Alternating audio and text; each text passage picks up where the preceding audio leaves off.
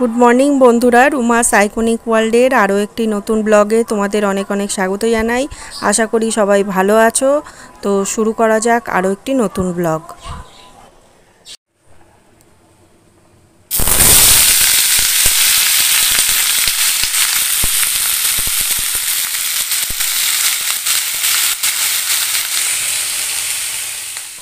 আলু পোস্ত করব, তার জন্য পোস্তটাকে একটু মিক্সিতে বেটে নিই।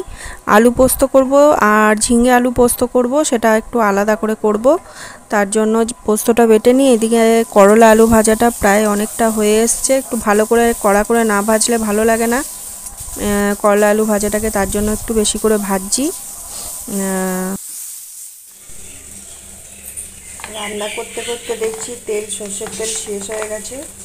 এই তেলটাকে এই জারে ঢেলে নেব। এদিকে বিউলির ডাল সিদ্ধ বসিয়েছি।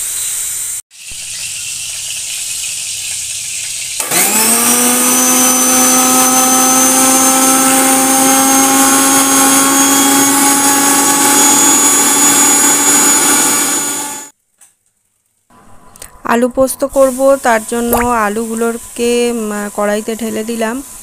আলু পোস্তটা আগে করব। পোস্তটা বেটে তো নিয়েইছি। আলুগুলোকে এবারে লাল লাল করে একটু ভালো করে ভেজে নেব। তারপরে একটু নুন, কাঁচা লঙ্কা, টমেটো দিয়ে একটু ঢেকে দেবো। আর এদিকে আমি ঝিঙেও কেটে রেখে ঝিঙেগুলো কেটে জলের মধ্যে দিয়ে রেখেছি। এদিকে আলু পোস্তর আলুগুলো লাল লাল করে ভাজা হয়ে গেছে। নুন দিয়ে সেটাকে এবারে জল দেবো। এদিকে করলা ভাজাটাও প্রায় অনেকটাই হয়ে উঠেছে। হয়ে এসছে, আর একটু ভাজা হলে নামিয়ে দেবো।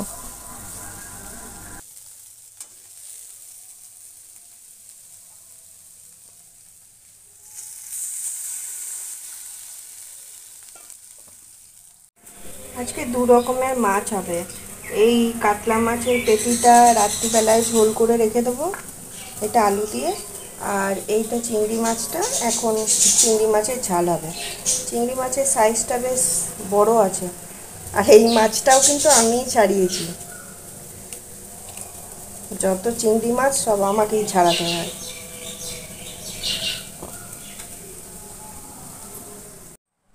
বিউলির ডাল হয়ে গেছে। বিউলির ডাল ফোড়ন দিয়ে নামিয়ে দিলাম। এদিকে করলা আলু ভাজা আর আলু পোস্ত সব রেডি হয়ে গেছে। সব নামালাম। শুধু ঝিঙে আলু পোস্তটা ঝিঙেটা দিয়েছি, ঝিঙেটা দিয়ে একটুখানি ফুটিয়ে নামিয়ে দেবো। এদিকে ভাতও হয়ে গেছে, ভাতটাকে গড় দেবো। এদিকে একটু চিলি চিকেন করব বলে তার প্রিপারেশান করছি।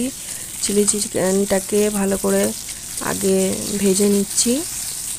আর পেঁয়াজ, টমেটো, লঙ্কা, কুচি কুচি করে রসুন, কুচি কুচি করে আদা কাঁচা লঙ্কা সব একসাথে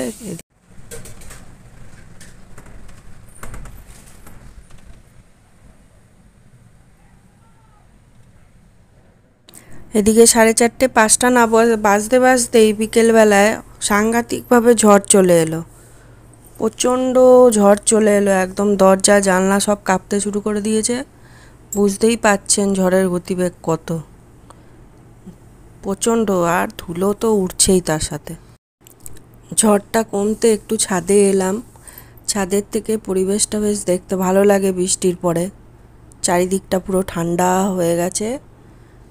এত গরম ছিল, তার মধ্যে একটু ঠান্ডা হয়ে গেছে, একদম চারিদিকটা খুব ভালো লাগছে।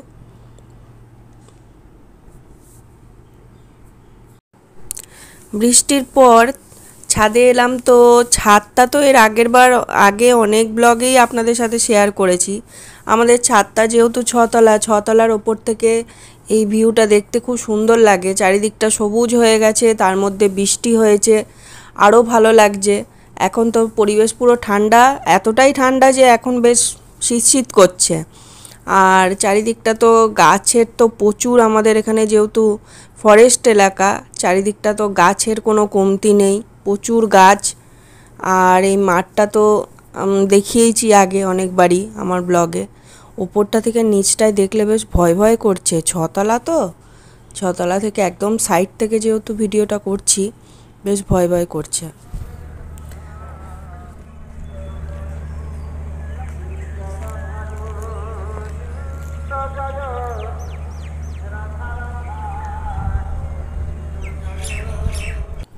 সন্ধেবেলায় আমাদের পাশে দোকান থেকে পাউরুটির চপ আর এদিকে জিলেপি আনা হয়েছে।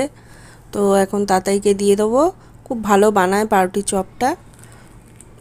তাতাই এই পাউরুটির চপটা খেতে বেশ ভালোবাসে। তাতাইকে দিয়ে দিলাম। তাতাই খাক। আমিও খাব একটা। আমি ডাকছি তোকে। আর কিছু বলছে না। জুজু বুড়ি এই জায়গাটা এত অন্ধকার আছে না?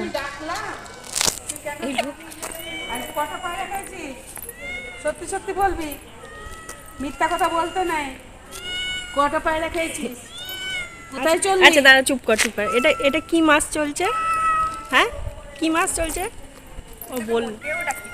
মেয়ে আচ্ছা আচ্ছা ঠিক আছে। মেয়ে মা- মেয়ে চলছে তো? এর পরের মান্থের নামটা একটু বলুন তো। বলবেন না মেয়েই বলবেন শুধু। আচ্ছা ঠিক আছে।